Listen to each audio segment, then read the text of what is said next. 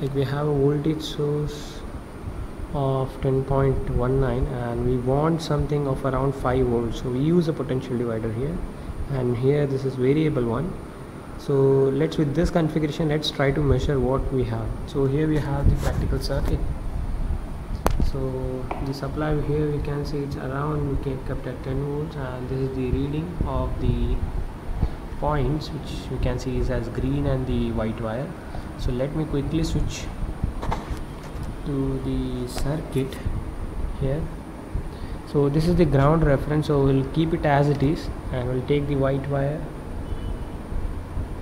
and then plug it in the source side the blue wire here. The blue wire and this red wire is coming for this which is channel 2 and this is set to channel 2 so this is what it's reading. It's around 10 volts right now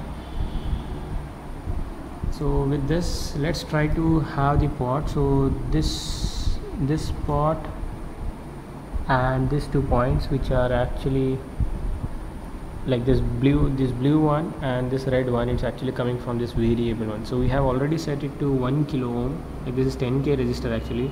So we have kept it to 1 kilo ohm.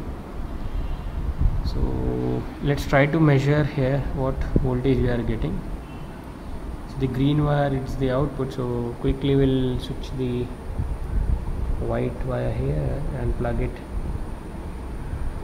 at the pot at the pot's terminal which is the divider part which is this voltage. So let's measure what voltage we are getting here. 5 volts. This was approximately 10 volts and it was around 0 volts so let's come to switch 2 so we want to drive this 5 volt like we want to drive this load of 1k using 5 volts. So what we'll do is we'll simply load it. So let's try to load that point. So so this is the this is the like load of 1k so which is already grounded there. So when we load it let's see what happens.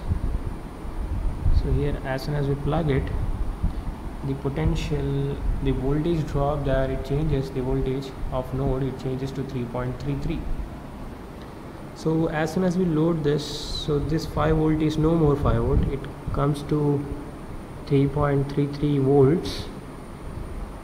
Actually 3.34 it's varying there 3.34 approximately so actually we wanted 5 volts but it's setting to something else. So let's try to use this step 3 which we say like we will pass to a buffer. What it is right now it's not required but we'll like we'll take that green wire the very same green wire which we plugged here. We'll pass it to a circuit and take another wire and plug it there and see what happens. So this is buffer circuit. So let's see how it what it is so this was the pot terminal like this is the pot terminal. So let's plug it in a circuit called buffer. And then we are, we are taking one green wire like one yellow wire. So that green wire went there buffer and output is this yellow wire. So as soon as we plug this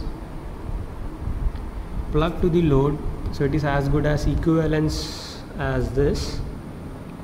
So we have 1k 1k and earlier it dipped as soon as we load. And but now here we are using buffer. So let's try to measure again what is the node voltage appearing here. The voltage is almost the same same as the earlier one which is 5 point like for 5 volts like 5.01 volts